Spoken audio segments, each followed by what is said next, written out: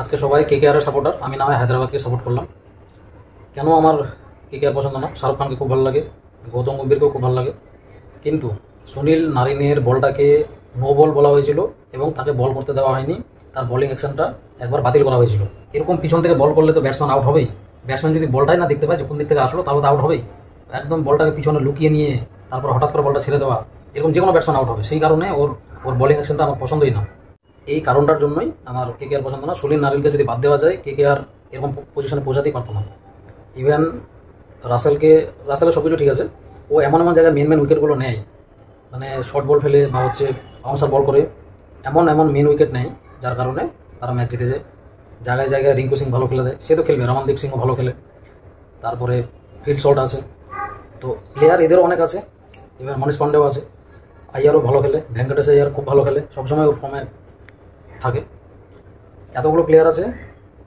কিন্তু আমাদের একমাত্র নারিন ছাড়া কলকাতা বা কে আর এই পজিশনে পৌঁছাতে পারতো না। ওকে যদি চার ওভার বল না করায়, তারপরে জিতে দেখুক, পারবে না।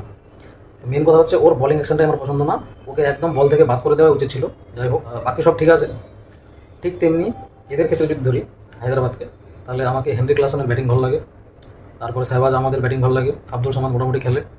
আর ট্রেভিসের তো আছে আর হচ্ছে নাটরাজনের বোলিং আর ভুবনেশ্বর কুমারও বোলিংও ভালো লাগে। ওভারঅল এত কিছু কারণ থাকার জন্য আর সবাই যদি কে কে সাপোর্ট করবে, তাহলে হায়দ্রাবাদকে কে সাপোর্ট করবে? প্রায় নাইনটি নাইন পার্সেন্ট লোক কে কে আর সাপোর্টার সেই জন্যই আমি হায়দ্রাবাদকে সাপোর্ট করছি। তবে এরকম নয় যে কে কে আর জিতলেও আমি যতটা খুশি হব, হায়দ্রাবাদ হারলেও আমি ততটা খুশি হব। তার মানে দুটো কথাই তোমরা বুঝতে পারছ যে কে কে আরই জিতবে আজকে।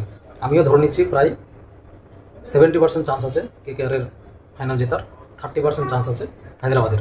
কিন্তু কিছু মাস্টার প্ল্যান যদি কাজ করে যারা যারা ভালো খেলে তাদের উইকেটটা যদি ঠিকমতো নেওয়া যায়, তাহলে বলা যাবে না। আমরা ম্যাচ দেখব এনজয় করব। দেখা যাক কী হচ্ছে শেষ অবধি। আজকের ভিডিওটা এতটুকুই।